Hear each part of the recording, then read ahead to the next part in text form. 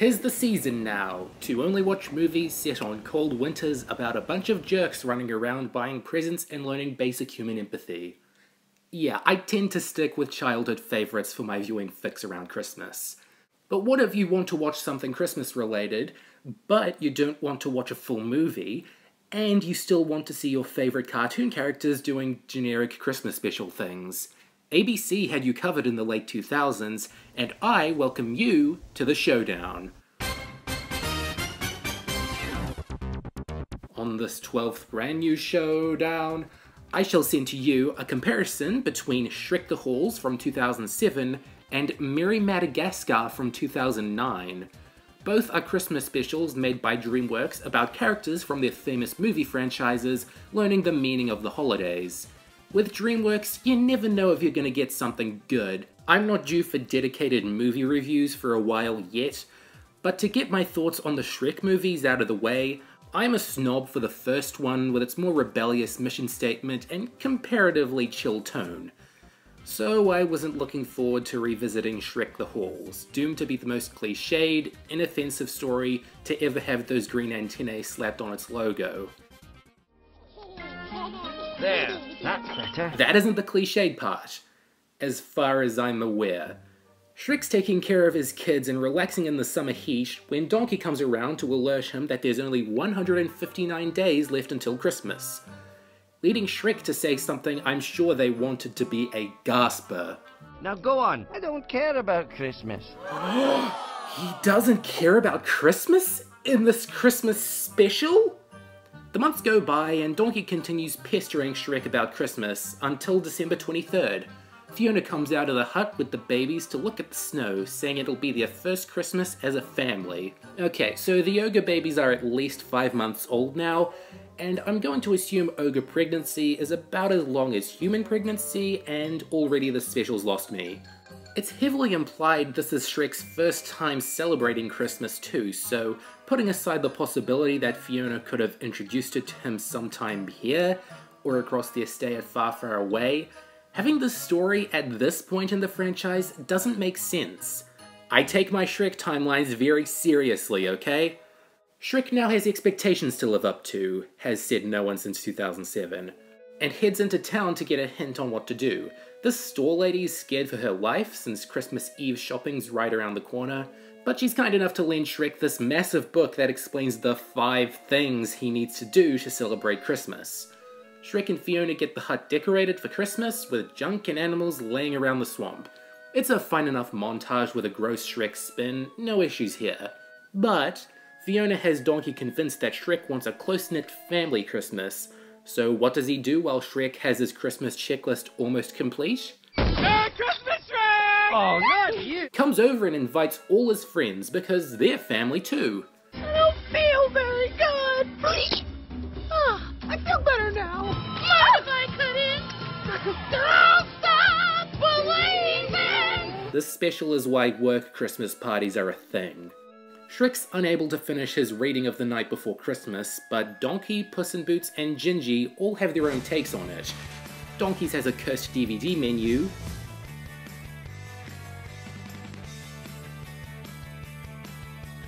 a roast turkey that dances to CC Music Factory, and a giant waffle Santa. It's nice, colorful, and I like this joke. Donkey!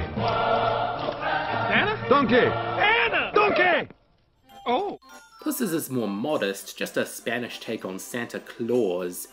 It's cut short when he goes cute. It's also pretty nice. Then, oh god, Gingy's! He recounts the story of when his girlfriend was eaten by Santa. Gingy lore is deep, guys.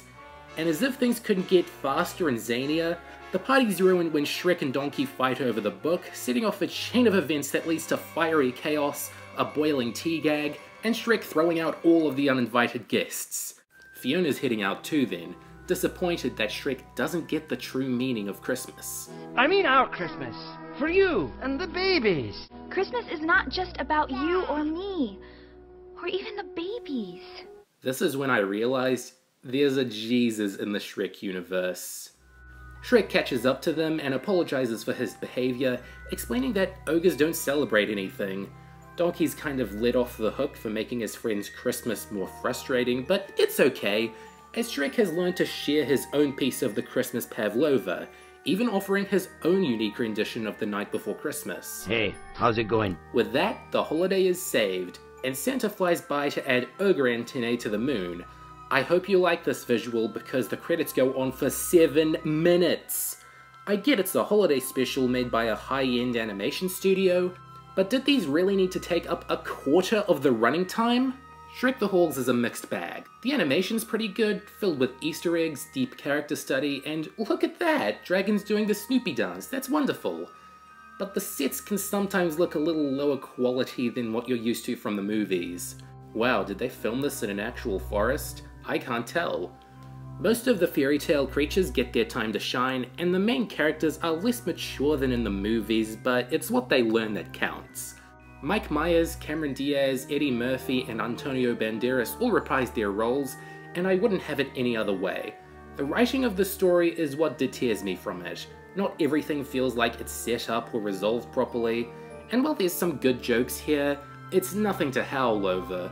For a Shrek Christmas special, it's predictable, but a little amusing here and there. Merry Madagascar was something I had higher hopes for. Their movies were certainly more consistent than Shrek's, and they were always meant to be silly kids movies willing to sell out, not nearly as countercultural as DreamWorks' earlier films. Plus, the story was headed by Ennio Torresan Jr., a former SpongeBob crew member. Stars are lining up for me.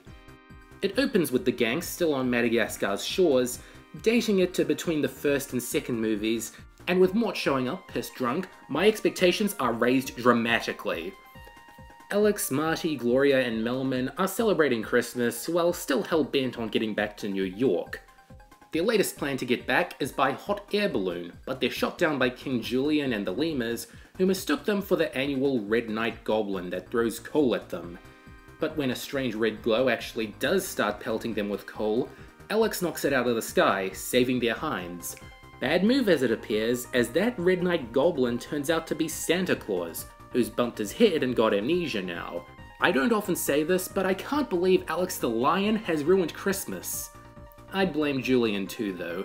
He's taken to convincing the lemurs that December is, in actuality, Julianuary, a month all about his kingdom showering him with gifts. It doesn't take long for Santa to curiously observe the festivities and for me to laugh. I like to. Very nice. You like to. All together. We like to. Gotta say though, each butt shake takes 5% off its total score, sorry. This B-plot is decent, I suppose. Santa gets his toy-making mojo back without knowing it, and Julien eventually discovers that getting presents didn't feel nearly as good as giving them. Look at the smile on Amelia. I've seen funnier and more heartwarming stories, but kudos to them for briefly trying to get King Julien, of all characters, to learn and grow. Weird I'm covering the B plot first, but it was the biggest surprise to me personally. Back to the main story, with Santa out of commission, it's up to these guys and the Penguins to deliver gifts, and maybe make a permanent stop in New York. But conflict arises when the reindeer won't take them, and the Penguins reveal they've feuded in the past. I thought this could have been a reference to their show, but they didn't have a Christmas special until 2010, so I'm stumped. Cupid does fall for Private's handsome looks and dashing personality, and I can see this as a deal breaker for the Skip Private shippers out there, but that isn't really important to me. What is important is that the guys are still able to use Santa's magic to ride the sleigh around the globe and deliver the remaining presents. Their first trip goes awry, I mean really awry, I mean really, really awry, but they get the hang of it soon enough. Things are going well, and on their stop in Greenland, they even discover their own presents. Ah! Dr. Manish's neck massager! But it turns out fuel's running out and they can only do one more trip. Do they go back to New York or Madagascar? Well, this brilliant sequence should do the talking. There she is, fellas. Maybe next Christmas, New York. Now, we have a doozy of an ending on our hands. They make it back and hit Santa, restoring his memory. He heads back to the North Pole with his trusty reserve tank, And back in the tropics, Julien wants to get back on the naughty list for some reason and throws a coconut at Alex. Uh oh, now he has amnesia. Good night, everybody. They were so close to making something really good, but dropped the ball in a fit of crazy. Largely, I think Merry Madagascar is fine enough. I hadn't watched it before doing this showdown, but I wouldn't mind watching it next Christmas. The animation is good, the story's bloated but entertaining, and while their rendition of Santa is rather uninspired, I think they did enough with the main characters to warrant the special's existence.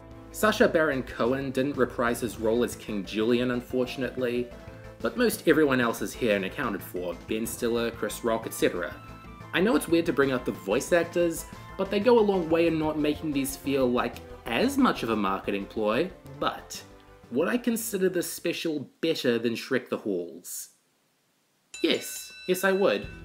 Shrek the Halls has its moments, but is just kind of derivative and by the numbers, things that the series mocked back when it started in 2001.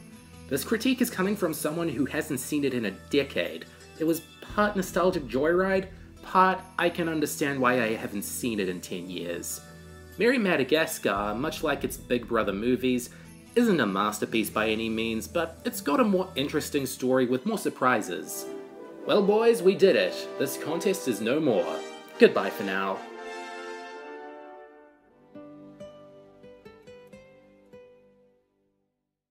Also, if you're asking me where these fit in the timeline, I don't know.